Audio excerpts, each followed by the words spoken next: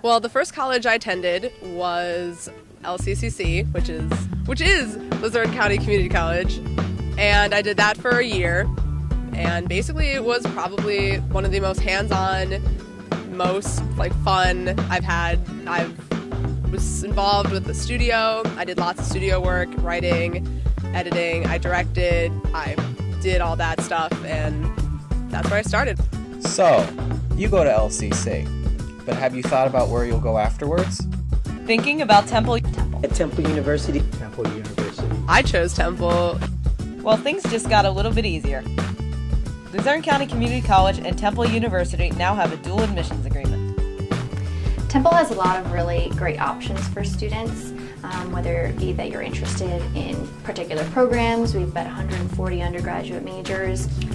There is on-campus housing available for students on a first-come, first-served basis at the main campus. We do also have off-campus housing options that a lot of students take advantage of. And then there is on-campus parking as well. Students would have to get a parking permit. Um, there are a lot of options in terms of public transportation to get around the city. Automatically accepted? What can be better than that?